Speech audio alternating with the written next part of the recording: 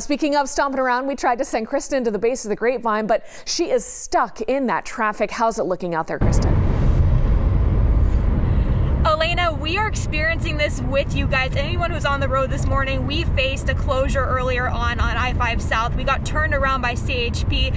As you can see, I'm sitting in the car right now in the back seat. God bless our photographer who's driving us to an alternate route. You might want to consider one as well.